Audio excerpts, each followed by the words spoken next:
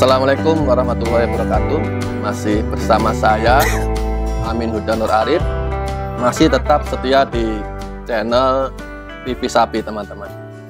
Hari ini saya akan mewawancarai salah satu uh, orang yang punya pengalaman di dalam mengawal sapi teman-teman. Nah kalau kita sering sebut yaitu kleder. Nah kleder ini adalah uh, orang yang ditugaskan untuk mengawal sapi yang dikirim dari satu daerah ke daerah yang lain. Nah kalau sekarang yang akan saya wawancara adalah salah satu kleder atau pengawal sapi yang berasal dari Nusa Tenggara Timur, tepatnya mungkin dari daerah uh, Atambua atau di daerah Wini.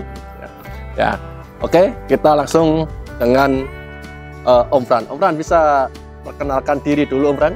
Ya, namanya siapa, asal dari mana? Nama saya Frans, asal dari Atambua. Atau Atambua ya? ya? Atambua. Atambua itu ikut daerah NTT paling ujung ya? Ya, perbatasan. Perbatasan dengan Timur Leste. Timur Leste. Nah, Atambua itu adalah salah satu daerah yang uh, di daerah Nusa Tenggara Timur dia sudah perbatasan dengan Timur Leste ya Om ya. Nah, Om Fran, ini Om Fran adalah uh, pengawal sapi ya Om ya. ya. Sering disebut sebagai leader. Leader ya. Leader ini. Kalau boleh tahu Om Fran untuk menjadi seorang leader ini sudah berapa lama Om Fran? Ya, saya sudah hampir tiga tahun. Sudah hampir tiga tahun, tiga tahun ya Om Fran ya. Oke, okay. Om Fran, untuk menjadi seorang leader itu apakah perlu apa apa keterampilan-keterampilan khusus gitu Om Fran? Karena iya. sapi-sapi dari NTT ini kan terkenal sapi-sapinya liar ya. ya. Ya seperti itu.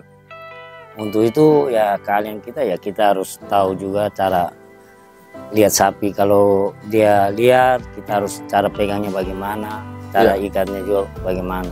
Oh begitu. Ya. Cara menanganinya. Cara, ya menanganinya itu. Kalau dia terlalu liar kita harus konveyor dia harus dengan itu kita ikat. Uh, conveyor itu maksudnya diapakan om? Diikat seperti pakai kabar isu. Oh begitu. Conveyor itu kalau bahasa Jawanya itu diberangus itu ya? Iya. iya. Uh, kalau bahasa orang-orang Jawa bilang diberangus yang ya. diikat di mulutnya ya. Mulutnya.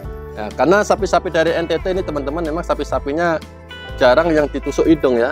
Jarang. Ya, sapinya adalah sapi-sapi yang rata-rata sapi liar ya awalnya ya. ditangkap dan cuma ditali di leher atau di tanduk ya. Ya, tanduk. Baik, Om Fran. Om Fran, untuk menjadi kleder itu, Om Fran, biasanya kalau dari NTT ini kan kebetulan ke Samarinda ini. Ya. Ini biasanya mengawal sapi itu berapa lama, Om Fran? Kalau dengan tol dia lima hari lima malam. Lima hari lima malam. Berarti ya. lima hari lima malam itu di atas laut ya? Di atas laut. Di atas laut. Kalau dengan kalau dengan kargo tiga malam. Tiga malam. Oh, kapal hari. kargo itu lebih cepat, Om? Ya, dia lebih cepat. Oh, begitu. Nah, kalau antara kapal kargo sama kapal tol ini, Om. Kalau untuk tol, tol ini khusus tol ternak ya? Ya. Nah, itu ada kelebihan, ada kekurangan, Om? Kalau tol itu dia bagusnya karena dia sudah khusus untuk binatang. Oh, memang di, di ya, setting untuk ternak ya? Ya, untuk ternak. Uh -huh. Kalau sedangkan kargo ini dia gunakan bambu. Jadi Pagarnya dengan bambu. Pagar-pagarnya buat sendiri. Ya, buat sendiri. Oh, kargo ini maksudnya kapal kapal barang kapal yang disetting yang disetting menjadi kapal ternak kapal untuk ternak. mengirim ternak. Iya. Oh, begitu. Kalau satu kapal, Om, biasanya itu kapasitas berapa ekor? Kalau untuk tol dia kapasitasnya 550. 550. Ya, kalau kargo bisa 700 800 ekor. 700 sampai 800 ekor. Ya. Lebih enak tol atau kargo? Kalau bagi saya enak tol. enak tol ya. Baik. Kan kalau untuk pengawalan sapi Om Fran, untuk satu orang itu biasanya bertugas mengawal berapa ekor sapi? Untuk mengawal itu khusus satu glider 50 ekor. 50 ekor. Ya. Itu antara tol dan kargo itu sama? Sama. Dia 50 ekor. 50 ekor. 50 ekor. Oke, oke, oke. 50 ekor untuk satu orang. Nah, selama pengawalan Om, selama di kapal di laut, tugas seorang kleder itu apa saja selama pengawalan itu? Selama pengawalan kalau di tol ini untuk tol punya kita kan pakan sudah ada masing-masing kita bawa pakan. Ya. Kita memberi makan, memberi minum. Ya. Kalau sedangkan kalau kargo kan itu kita kelompok memberi makannya. Oh, tim ya? Iya dia tim. Begitu. Kalau kargo itu kita tim, dia kasih memberi makan berarti dengan pagi dengan sore saja. Oh, begitu. Ya itu sama-sama dan nanti hari, Barengan ya? hari kedua sama-sama juga memberi minum. Oh, begitu ya. Kalau kargo, kalau tol tidak. Kalau tol dia kita memberi makan dari Masing-masing ya? masing-masing. Oh, berarti kalau tol ini memang kalau tol lebih cenderung itu pengirimnya dari beberapa orang ya, Om? Iya. Oh ya benar. Kalau tol ini teman-teman, tol ini karena ini adalah milik pemerintah, maka kuota yang ada di tol ini memang dibagi ya. dibagi. Dibagi misalnya sapinya yang dikawal Om ada berapa ekor, ada dikawal lagi berapa ekor ya. Ya, begitu. Jadi memang dibagi kuotanya dibagi menjadi beberapa penyuplai ya Ya, atau apa? eh, eh, grup yang ada di tol ini berbeda-beda. Beda-beda. Jadi bisa bisa yang mengisi satu kapal bisa 10 orang, bisa lima 12 orang, 12 orang. Biasanya masing-masing penyuplai kapasitas antara 50 sampai, Sampai 100 ya. Oh begitu.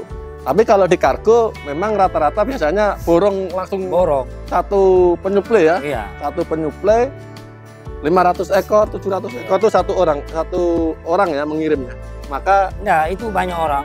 Hmm. Pak, tapi kan dia digabung sapinya itu. satunya digabung Ya.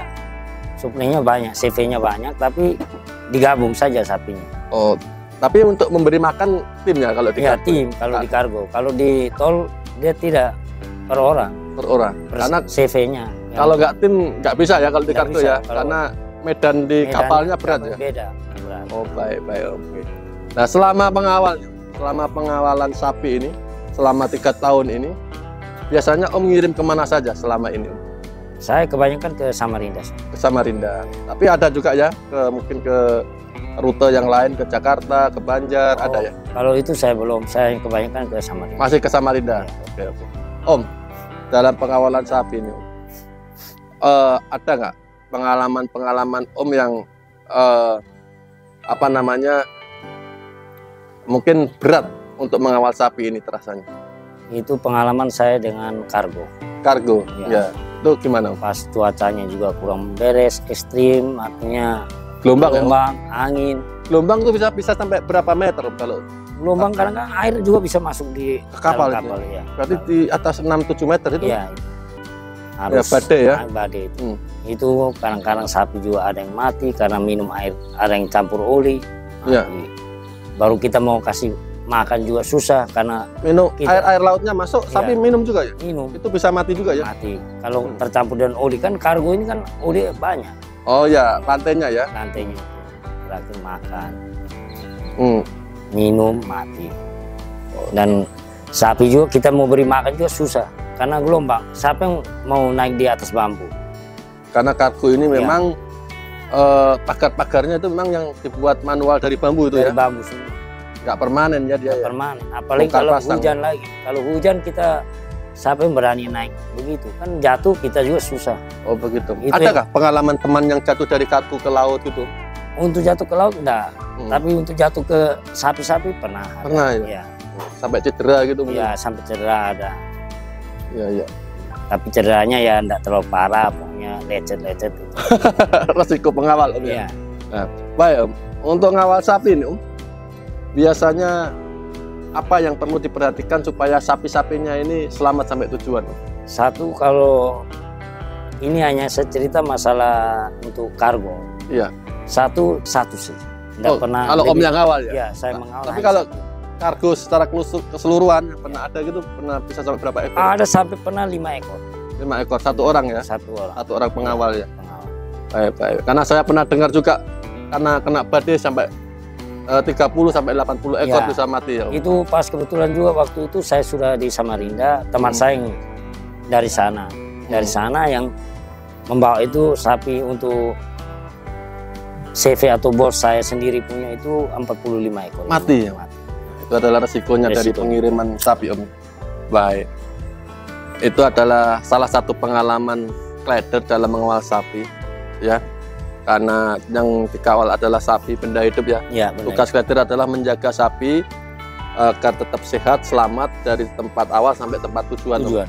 Nah, yang perlu dijaga tadi ada tiga hal tadi Om ya. Yang Ya. pertama adalah pertama adalah tali ya. Tali. Tali ikat sapi itu jangan sampai ada sapi yang terlilit. Kedua adalah suhu. suhu, Jangan sampai sapi itu terlalu panas, terutama kapal-kapal kargo Om ya. kargo, Terus yang ketiga tadi adalah masalah pakan. pakan. Pakan itu kalau bisa dilebihi Om ya. Lebih. Dilebihi supaya kalau ada badai, ada bencana, ada molor-molornya kapal, akan masih tercukupi gitu. Om.